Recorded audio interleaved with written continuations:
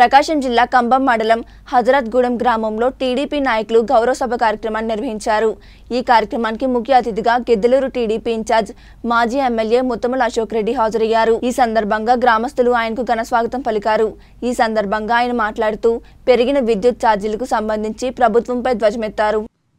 CM Jagan ప్రతిపక్షంలో ఉన్నప్పుడు విద్యుత్ ఛార్జీలు పెంచమని హామీ ఇచ్చి ఆ హామీని తొంగలో తొక్కారని అన్నారు. పేద మధ్యతరగతి కుటుంబాల వెన్ను విరిసేలా ఉన్నాయన్నారు. ప్రస్తుతం ఈ ప్రభుత్వం విద్యుత్ పదమూడు స్లాబులను ఆరుకు కుదించి విద్యుత్ వినియోగదారులపై మరో నాలుగు వేల కోట్ల రూపాయలు పైగా అలాగే ట్రూ అప్ ఛార్జెస్ ద్వారా ప్రజలపై మోపుతున్నారు. అప్పటి ఎన్నికల ప్రచారంలో విద్యుత్ ఛార్జీలు పెంచనని హామీ ఇచ్చిన ఈ పెద్ద మనిషి ఇప్పటికీ ఆరు సార్లు విద్యుత్ ఛార్జీలు పెంచి ప్రజలను అడ్డివిరిచారు ముప్పై యూనిట్ల పైగా వాడే విద్యుత్కు రూపాయల యాభై పైసల వరకు ధరలు పెంచి సామాన్యుడిని కోలుకోలేని విధంగా దెబ్బ కొట్టారన్నారు. ఇలా ఈ ప్రభుత్వం చెప్పిన దానికి వ్యతిరేకంగా పనులు చేసుకుంటూ ప్రజలను ఇబ్బందులకు గురిచేస్తుందని ఆగ్రహం వ్యక్తం చేశారు. అది ఎప్పటికీ మీరు మనసులో పెట్టుకోవద్దు. దయచేసి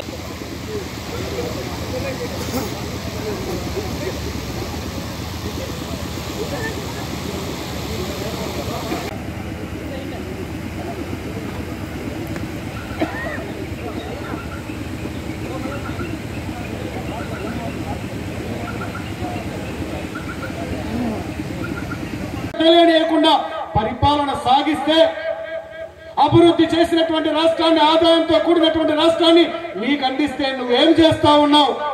పేదవాడికి నేను నవరత్నాల పేరు మీద సంక్షేమాన్ని అందిస్తున్నాను అది ఒక్క మాట తప్పితే బయటకు పోతే నూనె రేట్లు పెరిగింది కరెంట్ ఛార్జీలు పెంచావు పెట్రోల్ డీజిల్ ఏ ఛార్జీలు పెరగలేదని ఈ ప్రభుత్వాన్ని అడుగుతా ఉన్నాను. పేదవాడి తరపున పేదవాడి నడ్డి విరుస్తున్నటువంటి ఈ ప్రభుత్వాన్ని. ఈరోజు ఒక్కటే మనం గుర్తుపెట్టుకోండి. ఎవరైతే పరిపాలన అనేటువంటి సమర్థవంతమైన నాయకత్వ ప్రత్యేక హోదా తీసుకొస్తానని చెప్పినటువంటి ఈ వైఎస్ఆర్ ప్రభుత్వం ఈ ముఖ్యమంత్రి కేంద్ర మెడలు వంచి తీసుకొస్తానన్నటువంటి ఈ ముఖ్యమంత్రి అధికారంలో నాకు వస్తే ఇరవై ఐదు ఎంపీలు ఇచ్చినట్టయితే తీసుకొస్తానని చెప్పాడు. ఇరవై ఐదు ఎంపీలు ఆయన అడిగితే ఇరవై రెండుకి ఇరవై ఐదుకి తేడా లేదు. ఇరవై రెండు మంది ఎంపీలను అందించడం జరిగింది. నిరుద్యోగ యువతి యువకులు ఈ యొక్క మోసపూరితమైనటువంటి మాటలు నమ్మి వైఎస్ఆర్ పార్టీకి అధికార ఓట్లు వేసి అధికారంలోకి తీసుకొని వస్తే కేంద్రం మెడలు వంచడం దేవుడెరుగు తన మెడలు వంచి తన సాష్టాంగంగా నమస్కారం పెట్టి ఈ రోజు నిరుద్యోగ యువతి యువకుల యొక్క భవిష్యత్తుని ప్రశ్నార్థకం చేసింది ఈ వైఎస్ఆర్ ప్రభుత్వం.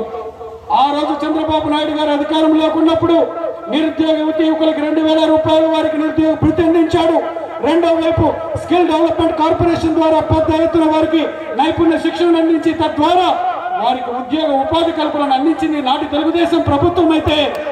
ఈనాటి ఈ ప్రభుత్వం అధికారంలోకి వచ్చిన తర్వాత రాజధానిని చంపేసేసి రెండవ వైపు ఉపాధి లేకుండా ఉద్యోగ అవకాశాలు లేకుండా మనం ఏదైనా ఉద్యోగం కావాలంటే తెలంగాణ వైపు చెన్నై వైపు బెంగళూరు వైపు చూసుకునేటువంటి దుస్థితిని కల్పించింది ఈరోజు నిరుద్యోగ యువతి యువకులు ఈరోజు అన్యాయంగా ఈరోజు ఈ ప్రభుత్వం వారిని చూస్తా ఉంది.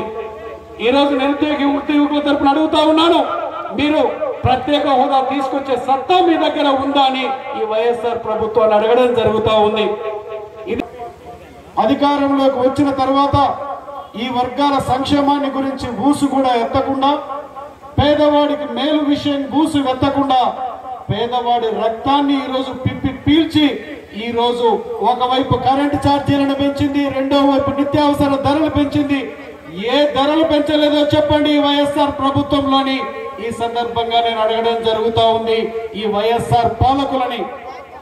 ఈ రోజు విద్యుత్ ఛార్జీలనే మనం తీసుకుంటే ఎంత ధరలు పెంచారు? యూనిట్కి రూపాయి యాభై ఏడు పైసలు గరిష్టంగా పెరిగింది అని అంటే గతంలో మనకి యాభై యూనిట్ల వరకు ఒక స్లాబ్ ఉంటే ఈ రోజు ముప్పై యూనిట్లకు చేయడం జరిగింది. అది కూడా ఈ రోజు మరలా యాభై యూనిట్లకైతే అక్కడ ధరలు పెంచారు. పేదవాడు ఒక లైట్ వేసుకోకూడదు ఒక ఫ్యాన్ వేయకూడదు. పేదవాడు ఏమే కానీ అనుభవించకూడదా? ఇది పేదల ప్రభుత్వం అన్నారు. ఎందుకు పేదలకు మీరు ఇంత ఇబ్బందులు చేస్తున్నారని ఈ వైఎస్ఆర్ పాలకులను నిలదీసడడం జరుగుతుంది పేదవాడి తరపున. ఇది పేదవాడి ప్రభుత్వం కాదు ఇది. ఇది కేవలం వైఎస్ఆర్ వారి యొక్క నాయకులకి వారి కార్యకర్తల యొక్క ప్రభుత్వం తప్పితే ఇది రాష్ట్రంలో ప్రజలందరి యొక్క ప్రభుత్వం కాదు ముమ్మాటికి అని చెప్పి సందర్భంగా నేను తెలియజేస్తా ఉన్నాను నేను. రెండవ వైపు ఆ రోజు అధికారంలో ఉన్నప్పుడు మైనార్టీలు ఎంత సంతోషంగా ఉన్నారు తెలుగుదేశం ప్రభుత్వంలో చంద్రబాబు నాయుడు గారి నాయకత్వంలో. ఆ రోజు అధికారంలోకి వచ్చినప్పుడు ఇమాంలకు మౌజన్లకి జీతాభత్యాలు ఇచ్చింది. రెండో వైపున మసీదులను అభివృద్ధి చేసుకున్నాం. ఖబరస్థాన్లను మనము అక్కడ మనం అభివృద్ధి చేసుకున్నాం. ఇదే కాదు మనం ఏదైతే మన యొక్క ముస్లిం సోదర సోదరి యొక్క ఆడబిడ్డ ఉన్నట్లయితే వారి వివాహం కోసం యాభై వేల రూపాయలు అందించాం. వారి పిల్లలు అత్యున్నతమైన చదువులు చదువుకునే దానికోసం విదేశీ విద్యను అభ్యసించే దానికోసం పదిహేను లక్షల వరకు ఖర్చు చేసి ఈ వర్గాల ప్రజల యొక్క పిల్లలు అత్యున్నతమైన చదువులు చదువుకునే అవకాశం కల్పించింది నాటి తెలుగుదేశం ప్రభుత్వం. మక్కాకు పోవాలంటే మనకి ఆ రోజు మనకి ప్రభుత్వం వైపు నుంచి సహాయం చేసింది. ఈ రోజు మక్కాకు పంపిస్తూ పంపిస్తా ఉందా ఈ యొక్క వైఎస్ఆర్ ప్రభుత్వం అని నేను ముస్లిం సోదరుల తరపున ఈ ప్రభుత్వాన్ని నిలదీసి అడగడం ఉంది. ఎక్కడ మైనార్టీ సంక్షేమ ప్రభుత్వం? నాటి చంద్రబాబు నాయుడు గారి ప్రభుత్వం ఎక్కడ? నేటి వైఎస్ఆర్ ప్రభుత్వం ఎక్కడ? మాటలు చెప్తా ఉన్నారు. ఇది మైనార్టీ ప్రభుత్వం అని. మైనార్టీలకు మేలు చేసే ప్రభుత్వం ఏమాత్రం ఈ వైఎస్ఆర్ ప్రభుత్వం కాదు అని ఈ సందర్భంగా తెలియజేస్తా ఉన్నాను నేను.